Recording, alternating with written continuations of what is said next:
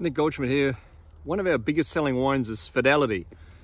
And we make two. We make a Zinfandel, and, which is a blend of Zin and Petite, and then we make a red blend, which has four Bordeaux varieties. And one of the varieties that we even really talk about is Petit Verdot. And here I am in our Petit Verdot vineyard that goes into Fidelity. Now Fidelity is made up of Merlot and Cabernet. Normally makes up about 85%. And then 15% of that, of the balance is made up of um, Cab Franc and Petit Verdot. And today I'm in the Petit Verdot and just checking it out. I don't know if you can see in here.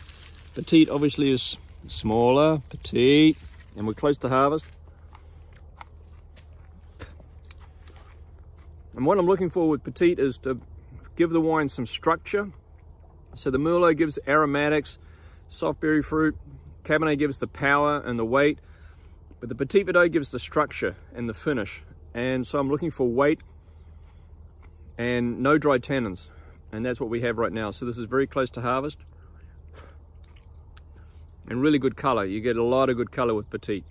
And then the last variety is Cab Franc, and that just gives it a little bit of aromatics and also a little bit more zip right up in front of the palate.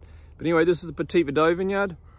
Relatively young vineyard that goes into Fidelity and uh, cool. Don't often get to do this.